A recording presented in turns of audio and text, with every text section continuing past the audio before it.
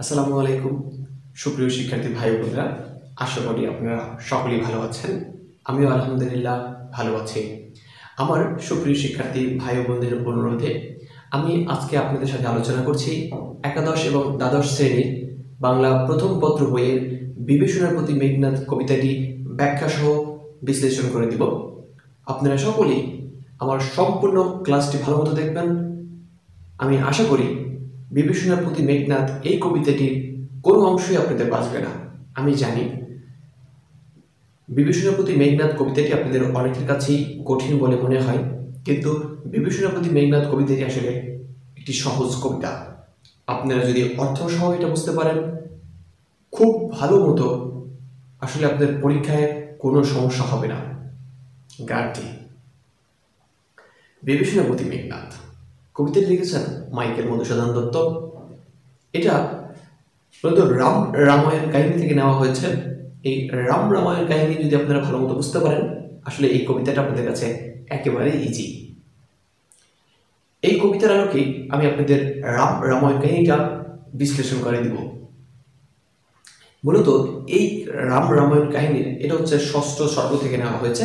তাহলে ষষ্ঠ স্বর্গের কিছু আমি আপনাদের ব্যাখ্যা দিচ্ছি, সেটা হচ্ছে আমাদের কবিতায় যতটুকু আছে, ঠিক ততটুকু আমি আপনাদের সাথে ব্যাখ্যা করব। এর বেশি দিব না, তাহলে আপনারা আসলে বুঝতে পারবেন না। আর রাম রামায়ণ কাহিনী, আপনাদের একটা ভিডিওতে বা দুইটা, তিনটা ভিডিওতে বোঝানোর মতো ক্ষমতা আমার নেই। এটা অনেক বড় একটা কাহিনী।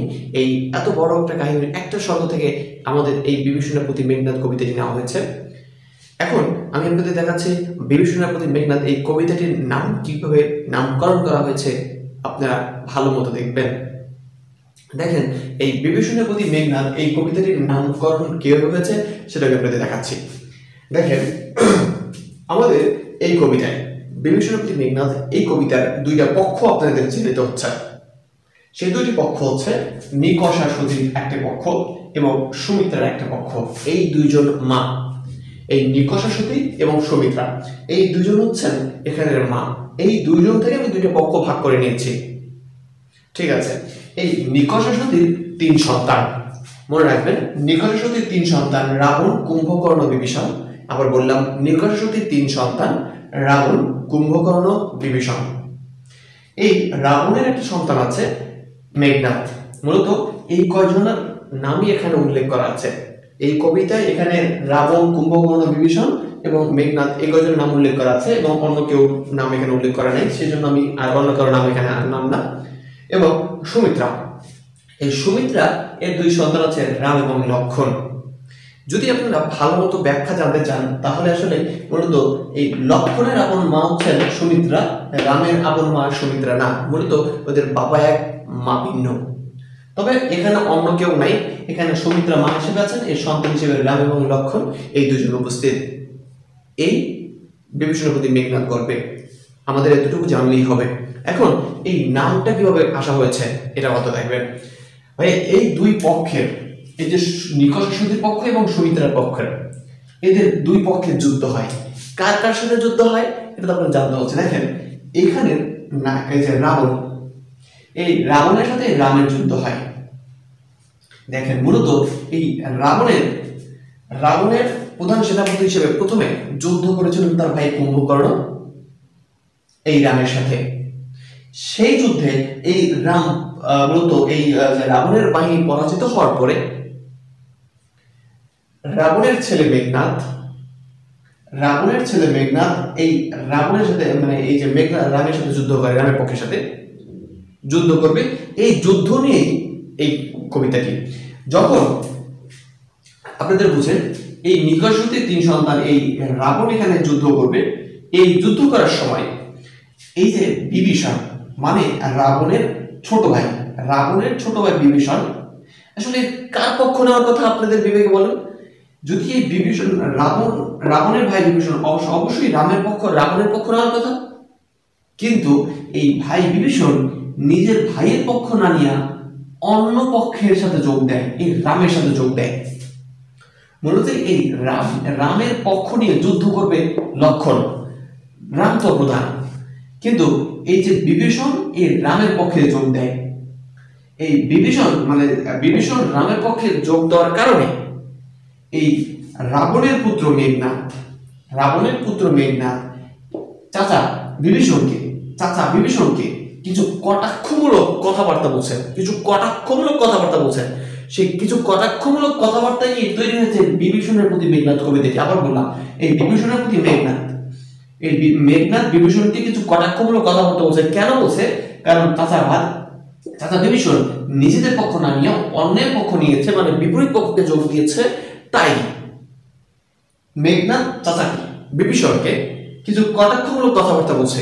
এই এই কবিতাটা হচ্ছে বিভীষণের প্রতি মেঘনাথ আমার মনে হয় আমি আপনাদেরকে বুঝাতে পেরেছি। এই কাহিনীটা যদি আপনারা জানেন তাহলে আমার মনে হয় সামনের যে অংশটুকু রয়েছে আপনারা ভালো মতো বুঝতে পারবেন। আপনারা এটা আবারও দেখে রাখবেন, আপনার নামটা এখনই মুখস্থ করবেন সুনিকষা, এই তিনজনের মা, কার? রাবণ কুম্ভকর্ণ বিভীষণ। এই তিনজনের মায়ের নাম হচ্ছে নিকষা, এখানে রাম এবং লক্ষণের মায়ের নাম দেওয়া আছে সুমিত্রা। এই নিকষার ছেলে রাবণ, কুম্ভকর্ণ বিভীষণ, এই রাবণ এই এই পক্ষের সাথে যুদ্ধ হয় রামের পক্ষের এই রাবণের পক্ষ নিয়ে প্রথম যুদ্ধ করে, কুম্ভকর্ণে কুম্ভকর্ণ মারা যাওয়ার পরে রাবণের ছেলে মেঘনাথ যুদ্ধ করে রামের সাথে। রামের সাথে যখন, এই রামের সাথে যখন মেঘনাথ যুদ্ধ করে, তখন চাচা বিভীষণ নিজেদের পক্ষ না নিয়ে বিজেতাদের পক্ষ মানে রামের পক্ষ নেওয়ার কারণে ভাতিজা মেঘনাথ বিভীষণকে কিছু কটাক্ষমূলক কথাবার্তা বলছে, তাই এই কবিতার নাম হয়েছে বিভীষণের প্রতি মেঘনাথ আমি মনে হয় আপনাদেরকে বুঝাতে পারছি। এখন আমরা মূল পাঠে আসব। মূল পাঠের প্রথম শব্দটাই ছিল এতক্ষণ। মনে রাখবেন, প্রথম শব্দটা ছিল এতক্ষণে। এত, এতক্ষণে অরিন্দম কহিলা বিষাদে, জানিল কীভাবে আসি? লক্ষণ বসিল রক্ষপুরে। আমি আপনাদের সবার আগে উদাহরণ দিচ্ছি এতক্ষণে। এতক্ষণে একটা সময়। এইটা বুঝতে পারলে আপনারা সামনের অংশ যেতে পারবেন। এখন এই এতক্ষণটা কোন সময়? এতক্ষণ একটা সময় বলেছি। এই সময়টা হচ্ছে, দেখেন। নিকষার ছেলে মানে নিকষার ছেলে রাবণ, রাবণের ছেলে মেঘনাথ মেঘনাথ যখন রামের বিপক্ষে মানে রামদের সাথে যুদ্ধ করতে যাবে, এরা যখন যুদ্ধ করতে যায়, তখন মেঘনাথ অস্ত্রশস্ত্র নিয়ে নিতে মানে নেওয়ার আগে ওরা নিকুম্ভিলা যজ্ঞাকার নামক একটা স্থানে পূজা করতে যায়। এই নিকুম্ভিলা যজ্ঞাকারে পূজা করার পরে ও অস্ত্রশস্ত্র সহ যুদ্ধে যায়। এখন এই মেঘনাথ সে একটা শক্তিশালী বীর। ওকে মারা এত সহজ না। ওকে মারতে হলে ওর দুর্বল পয়েন্ট খুঁজে বের করা ছিলই ওর শত্রুপক্ষের প্রধান কাজ। নলে ওকে, ও যদি মানে মেঘনাদের শরীরে যদি অস্ত্রশস্ত্র থাকে, তাহলে ওকে মারা সহজ নয়। এই কারণে ঘরের শত্রু বিভীষণ মানে ওর চাচা বিভীষণ রাম পক্ষকে মানে রাম এবং লক্ষণকে পরামর্শ দিয়েছিল। মেঘনাথকে মারতে হলে ওদের ঘরে আইসা মারতে হবে, যেখানে মেঘনাথ মানে খালি শরীরে থাকে, কোনো অস্ত্র থাকে ওর সাথে। সেই স্থানটা হচ্ছে নিকুম্বিলের যজ্ঞাগারে।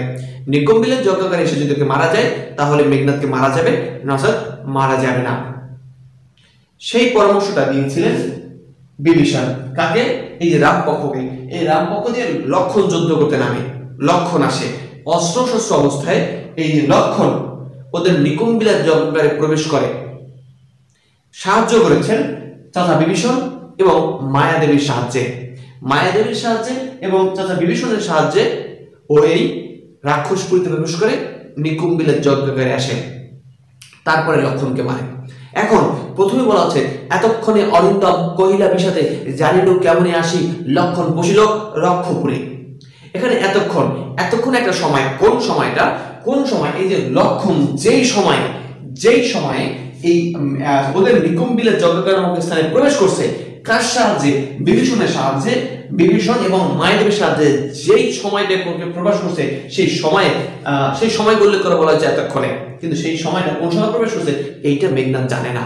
এই জন্য বলা যাচ্ছে এতক্ষণে অরিন্দম অরিন্দম শব্দের অর্থ হচ্ছে অরি বা শত্রুকে দমন করে যে। অরি বা শত্রুকে দমন করে হচ্ছে মেঘনাথ তাই এই কবিতার আচ্ছা অরি বা শত্রুকে দমন করে হচ্ছে মেঘনাথ তাহলে এতক্ষণে অরিন্দম কহিলা বিষাদে, তাহলে এতক্ষণে অরিন্দম মানে মেঘনাথ কহিল বিষাদে শব্দ অর্থ দুঃখের সহিত। এতক্ষণে মেঘনাথ দুঃখের সহিত বলিল জানি না মানে জানি না, কেমনে আসিল, লক্ষণ পশিল জানি না কেমনে লক্ষণ এখানে প্রবেশ করল। রক্ষপুরে। মানে এই রাক্ষসপুরীতে এই রাক্ষসপুরীতে লক্ষণ কীভাবে প্রবেশ করল সেটা আমি জানি না। হাই তা তো, উচিত কি তবে কাজ? চাচাকে বলছে? হায় তা তো, চাচা মানে তাত শব্দ হচ্ছে চাচা তাত শব্দ হচ্ছে চাচা, হায় তা তো। উচিত কি তবে কাজ? তবে মানে তোমার তোমার এই কাজ করা কি উচিত হয়েছে? এখন কোন কাজটা সেটা তো বুঝতে হবে।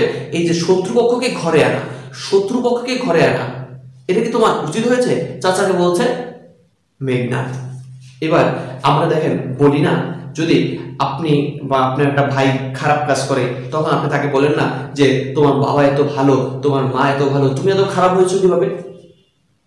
ঠিক এরকম করে মেঘনাথ তার- চাচাকে বলছে, নিকষ সতী তোমার জননী সহদর রক্ষশ্রেষ্ঠ শুলি শম্ভনী কুম্ভকর্ণ ভাতৃপুত্র বাসক বিজয়ী এই তিনটার অর্থ আপনি বুঝেন। নিকষ সতী তোমার জননী। নিকষ সতী নিকষ হচ্ছে রাবণ, কুম্ভকর্ণ, বিভীষণ, এর মা। এখন নিকষ সতী, তাকে সতী বলা হয়, হিন্দু ধর্মের খুব ভালো মহিলাদেরকে সতী বলা হয়। এগুলোর জন্য বলা হচ্ছে নিকষ সতী তোমার জননী, নিকষ সতী তোমার মা, সহদর রক্ষশ্রেষ্ঠ। সহদর রক্ষশ্রেষ্ঠ, সহদর মানে আপনার বড় ভাই। আপনার বড় ভাই রক্ষশ্রেষ্ঠ মানে রাক্ষসপুরীর শ্রেষ্ঠ সন্তান শ্রেষ্ঠ সন্তান। তাহলে রক্ষশ্রেষ্ঠ বললাম রাক্ষসপুরীর শ্রেষ্ঠ সন্তান। মানে সহদর রক্ষশ্রেষ্ঠ আপনার বড় ভাই রাক্ষসপুরীর শ্রেষ্ঠ সন্তান। শুনি শম্ভনিব কুম্ভকর্ণ। কুম্ভকর্ণ। এই দেখেন, তার আর ভাই কুম্ভকর্ণ। এই কুম্ভকর্ণকে বলা হয়েছে শুনি শম্ভনিব শব্দের অর্থ হচ্ছে শুলপানি দেবতার মতো। আপনার মেজ ভাই, এই বিভীষণকে বলতেছে, আপনার মেজ ভাই শুলপানি দেবতার মতো একজন মানুষ। শুনি শম্ভনিব কুম্ভকর্ণ ভাতৃপুত্র বা বিজয়। ভাতৃপুত্র মানে ভাইয়ের পুত্র। এই বিভীষণের ভাইয়ের পুত্র হচ্ছে মেঘনাথ।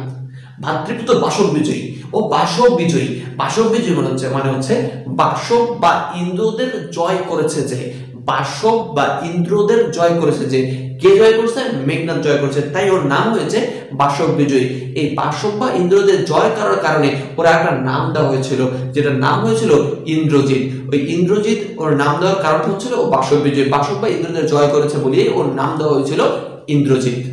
মনে রাখবেন। এই ছিল এই তিনজনকে একটি ভালো দিক বলছেন এই যে নিকট সতী, রাবণ, কুম্ভকর্ণ এবং মেঘনাথ এই তিনজনের গুণ গেয়েছেন নিজ গৃহপথ তার দেখাও তস করে। নিজ গৃহপথ, নিজের বাড়ির দরজা, তা তো মানে চাচা, দেখাও করে মানে চোরের তস্কর শব্দ তো চোর মানে খারাপ ব্যক্তি। এখানে খারাপ ব্যক্তি কে? দেখেন, খারাপ ব্যক্তি এখানে লক্ষণ। লক্ষণকে উল্লেখ করা, বলা হয়েছে। কারণ ওদের এখানে প্রবেশ করছে লক্ষণ। এই রাক্ষসপুরীতে প্রবেশ করছে লক্ষণ। এই জন্য বলছে হাই তাতো মানে হাই চাচা। সরি, নিজ গৃহপত্তা তো দেখাও দশ করে, নিজের বাড়ির দরজা চাচা, দেখাও চোরে চন্ডালে বসাওয়ার এই রাজার আলয় চন্ডাল শব্দ তো চোর। মানে খারাপ ব্যক্তি, দুশ্চরিত্র ব্যক্তি। চন্ডালে বসাওয়ানি রাজার আলয় মানে নিজের আসনে, চোরকে এনে নিজের আসনে বসাও। কিন্তু নাহি গঞ্জি তোমা, কিন্তু তোমাকে আমি তিরস্কার করছি না। কিন্তু নাহি গঞ্জি। গঞ্জি শব্দ তিরস্কার করা। কিন্তু নাহি গঞ্জি তোমা তোমাকে আমি তিরস্কার করছি না। গুরুজন, তুমি পিতৃ তুল্য। মানে তুমি পিতার সমতুল্য। তুমি পিতার সমতুল্য। তোমাকে আমি তিরস্কার করছি না। ছাড়হ দান যাব অস্ত্রাগারে। পাঠাইব রামানুজে সমন ভবনে। দেখেন, ছাড়হ দ্বার। দ্বার শব্দ অর্থ দরজা। দরজা ছাড়ো চাচা। যাব অস্ত্রাগারে। যাব অস্ত্রাগারে মানে অস্ত্র আনতে যাবে। পাঠাইব রামানুজে। রাম অনুজ, রামানুজ মানে রাম অনুজ। অনুজ শব্দ তো ছোট ভাই এক্ষেত্রে আর রাম অনুজ মানে রামের ছোট ভাই। রামের ছোট ভাইকে লক্ষণ, এই দেখেন, রামের ছোট ভাই লক্ষণ। পাঠাইব রামানুজে মানে লক্ষণকে। সমন ভবনে মানে জমালয় মানে শ্মশান ঘরে মৃত্যু, একা মেরে এর বলা হচ্ছে। পাঠাইব রামানুজের সমন ভবনে। লঙ্কার কলঙ্কাজি ভঞ্জিব হবে। লঙ্কার কলঙ্ক মানে এই লঙ্কাপুরীর কলঙ্ক। আচ্ছা লঙ্কাপুরীর কলঙ্ক কোনটা? এই রাক্ষসপুরীতে শত্রুপক্ষ প্রবেশ করছে মানে লক্ষণ প্রবেশ করছে, এইটা ওদের জন্য একটা কলঙ্ক। এই জন্যই বলেছে, লঙ্কার কলঙ্ক আজই ভঞ্জিব শব্দ অর্থ দূর করব, আহবে শব্দ অর্থ যুদ্ধ দ্বারা। আবার বললাম, লঙ্কার কলঙ্ক আজই ভঞ্জিব আহবে শব্দ অর্থ হচ্ছে, এই লঙ্কার কলঙ্কটা আমি আজকে যুদ্ধ দ্বারা বিনষ্ট করব। আশা করি আপনারা আসলে বুঝতে পারছেন। পরবর্তী পাঠ আচ্ছা দ্বিতীয় পাঠে দেওয়া হবে। আজকের পাঠ এই পর্যন্তই। আপনারা এতটুকু ভালো মতো নোট করে রাখবেন। এবং যদি কোনো সমস্যা থাকে থাকে আমার কমেন্ট বক্সে অবশ্যই জানাবেন। আমি আপনাদের সমস্যার সমাধান দেওয়ার চেষ্টা করব। ভালো থাকবেন, সুস্থ থাকবেন। খোদা হাফেজ। আসসালামু আলাইকুম।